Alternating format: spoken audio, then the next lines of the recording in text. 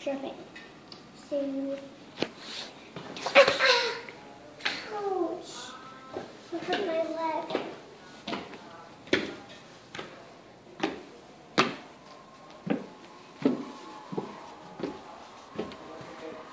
Um.